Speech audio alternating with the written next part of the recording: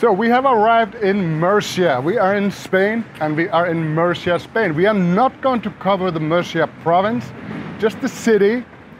And when I say we, her, her, her, the little dog and the little monkey. So the six of us are going to explore this city for the next three days.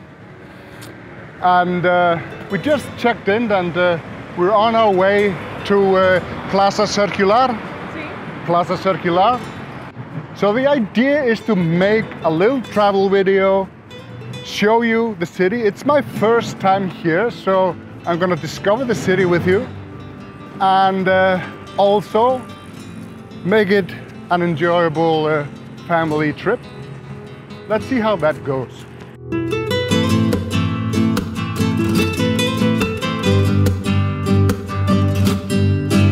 Murcia is a single province region located in southeast Spain, between the region of Andalusia and Valencia. The region of Murcia has a population of over 1 million people, and the city of Murcia is the seventh largest city in the country with about 450,000 inhabitants. In 825 AD, the Moors settled in this former Roman colony and they renamed it Murcia. Moors were Moroccans, member of the Muslim populations of what is now Spain and Portugal, of mixed Arab, Spanish, and Berber origin. The Moors created the Arab Andalusian civilization, and even though the town was reconquered in 1243 by Alfonso X, the mark that Moors had on Murcia still shows very well in its architecture, which creates a beautiful fusion between Moor, Baroque, and classical Spanish ar architecture, which makes Murcia one of the prettiest city I have ever seen. Murcia is a walking city. Most attractions are relatively close to each other, so if you have a car, just leave it at the hotel and take a taxi downtown. Parking in downtown Murcia is a nightmare. Don't even try. So we have arrived at Plaza Circular, Cir Plaza Circular. So I'm uh, trying to improve my Spanish accent a little bit. We are here around the holidays. Uh, it's, actually, it's a matter of fact, it's 27th of December today, so it's not exactly tourist season, but I've heard that this city is absolutely beautiful uh, around this time of year. And uh, you might see here, if I turn the camera a little bit, the Christmas tree here behind me. I bet this is amazing after dark. We were getting kind of hungry, but I and, and we found a restaurant actually. I just stepped out to uh, to tell you this because I don't want to get a copyright strike because of the music inside the restaurant. But if you if you never traveled in Spain, you need to know this um, with food. You need to eat. The restaurants are open. They open um, 12 1 and uh, then they close at maybe 4, between 4 and 5. And then they reopen at 8, even 8.30 and they're open like until 11 12 something like depending on the day of the week. But in in this period from like 4 5 to 8 it can be quite difficult to find something to eat. We were gonna do because this this region and this city Murcia is uh, very known for its tapas. And we were gonna do that now. But everything was closed. And the only thing which we found open hamburgers.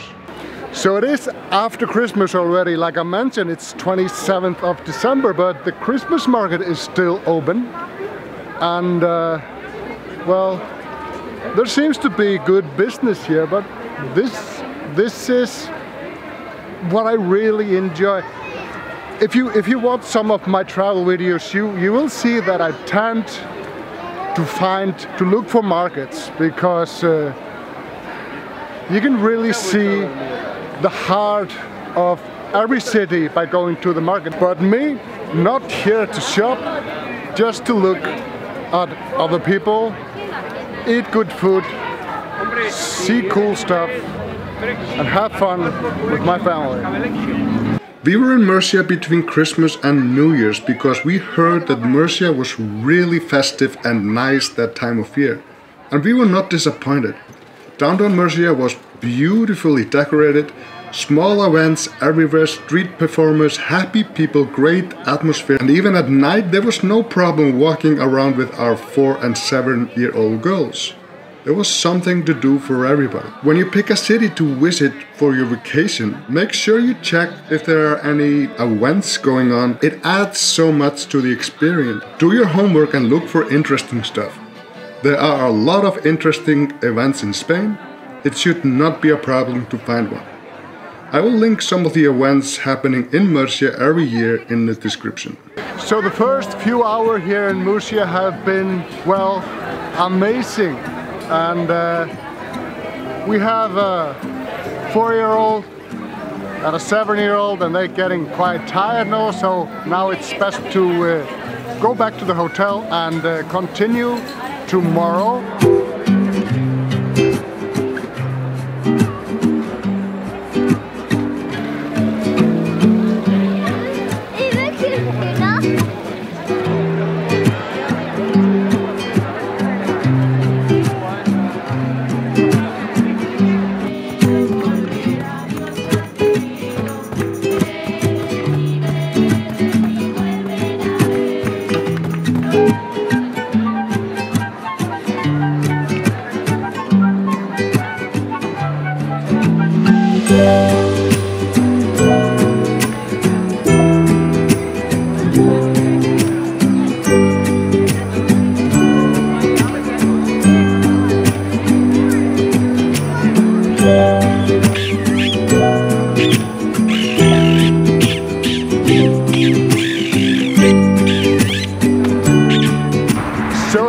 day two on this Murcia adventure and we're gonna start this day at the market.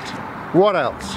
So I'm now at a local food market and uh, this is a really really cool place. It's um, well as you can see it's food, all kind of food, fish, meat, vegetables, also, so what you find here are locals, not tourists. And uh, this is a really happy place. It's uh, it's funny, it's fun. You can see like some of the uh, meat cutters, they are singing while they work and uh, it's a really uh, cool spot.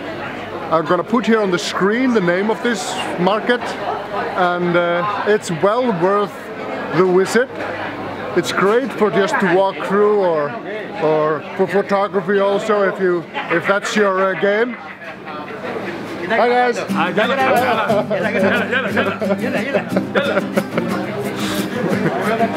As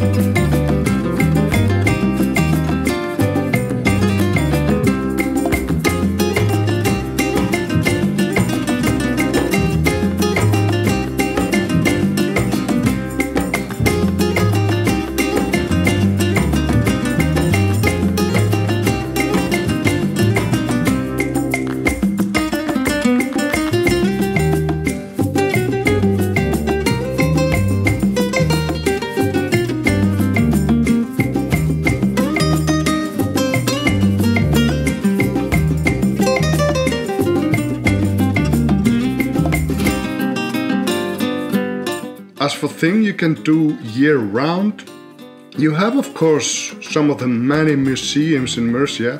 I'm not going to recommend any particular museum because what I might find interesting uh, might not be your preference, but the one we visited were all great. but instead I'm gonna link in the description uh, to numerous museums. You can choose something that appeals to you from that list. So this would be the Playmobil expedition. Tad disappointing. I did not know what to expect, but the kids love it, so that's why we're here. So the plan was to go to one of those uh, fancy places, these fancy tapas places that came highly recommended at, uh, from our hotel. Turned out they were all fully booked. We we needed to make a reservation, and uh, so to make a long story short, the kids were hungry. I was getting hungry. Wife is wife needed beer, so uh, we just jumped in. Uh, in the first available place that had a free table. So let's see how it, let's see how that goes. So the verdict, it was really good. The food there was really good. Well, like those restaurants we ate in yesterday, this this area, this city is known for good food. So even if you miss out some of the uh, well the fancy ones, which you need to make a reservation to, you should be fine. Uh, it's it's all good. I don't think uh, a bad restaurant would thrive here in downtown Murcia. I really don't think so. Uh, the price, well, for us four, it's about 45 euros. It's been about that between 40 and 50 euros for each meal we had since we got here. So I'm not a budget traveler. I'm not a fancy traveler either. So I would guess that uh, about 150 euros. You need 150 euros to eat, to get ice cream, you know, get into museums a day. Uh, there is, however, um, like a tourist card. You can buy a tourist card which is about, uh, I think it was 12 or 14 euros uh, for adults and 4 or 5 euros for kids. Uh, that gives you um, a free, free pass to a lot of the, um, the museums and the happenings uh, around here.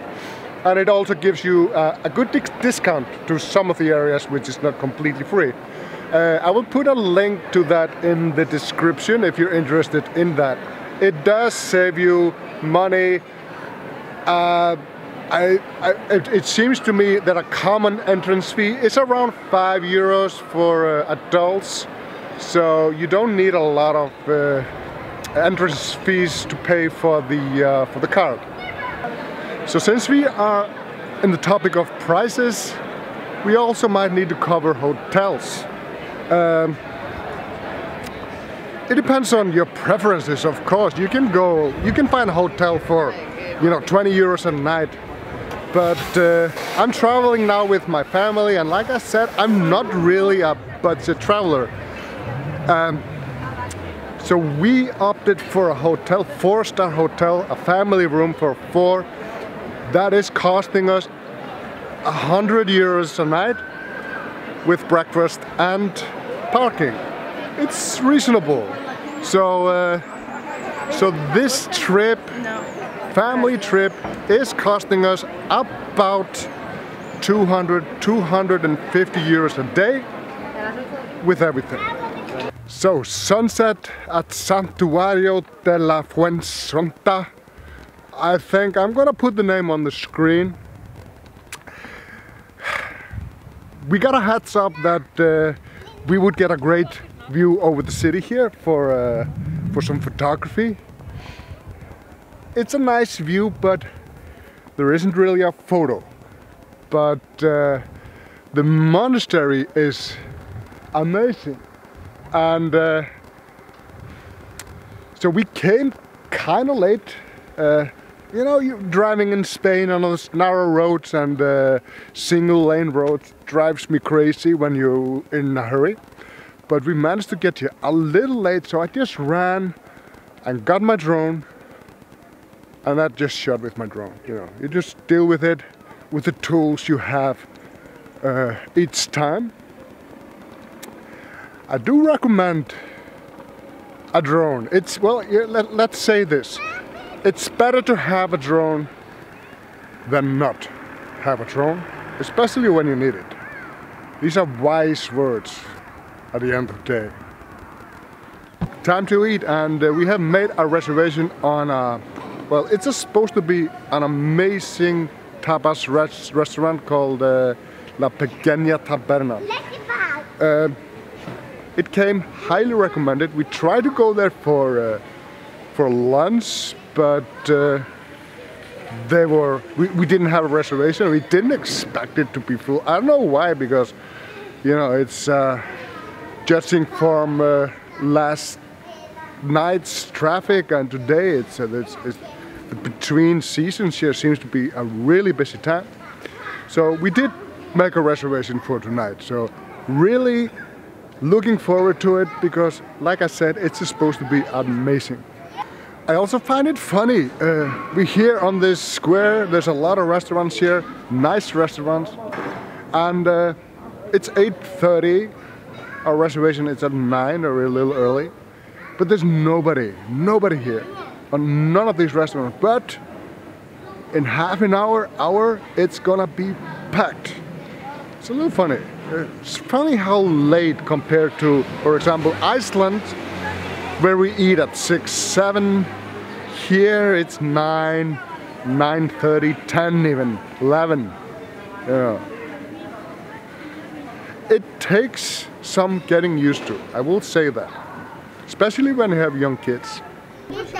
So there has been a slight misunderstanding. I'm trying to keep the voice down, I don't want to shout over the whole restaurant. There's been a slight misunderstanding with this place. It's, it's not a tapas place. But it's a really fancy place, so what does one do when he can't get tapas?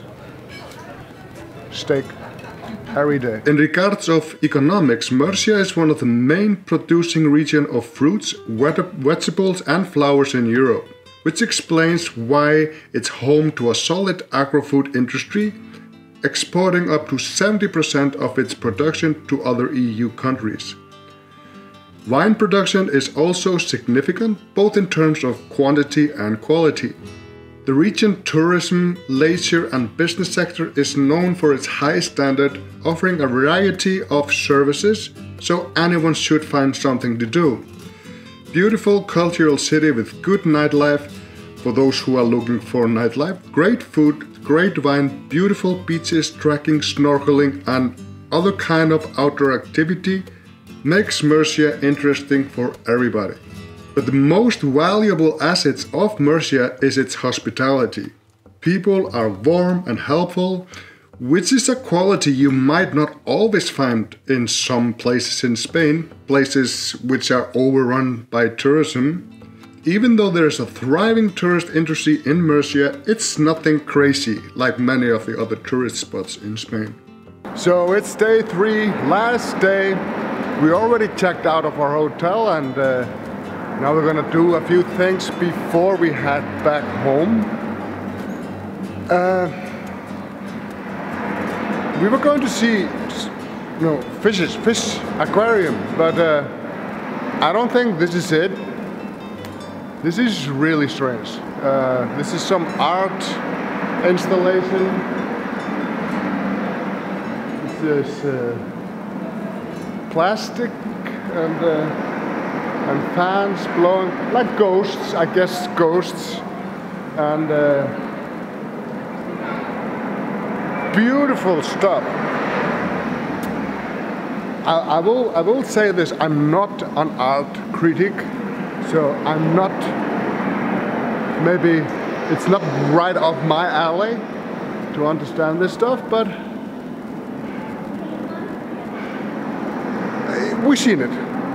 Let's find the fishes. So we're now at, uh, well, I'm gonna say it's called the Centro de Cultura, but I'll leave the full name here on the screen. it's where the uh, aquarium is. We're gonna go see the fishes and the uh, the strange uh, art installations. So there's a lot of uh, a lot of uh, art galleries here, paintings, all sort of cultural stuff as the name indicates. And we were lucky enough to have like a small theme park right on the square and and of course what you would expect in downtown Murcia which is one of the hottest region in Spain people are ice skating. So we did find the fishes. We found uh, Dora from uh, Nemo and uh, a lot of other amazing creatures. At least the kids love it. Let's check it out. So, all good things must come to an end. Unfortunately, this is the end of our three-day Murcia city trip. It's been a blast. And uh, I've included some of the things we did in this video, not all. And uh, by far, this is not the only thing you can do here on your trip. But I include a lot of links in the description of places to go, you know, where you can uh, get the uh, tourist pass, some info that you might find useful if you're planning a trip here to Murcia, which I definitely recommend. Thank you for watching this video. Hope you enjoyed it. Bye.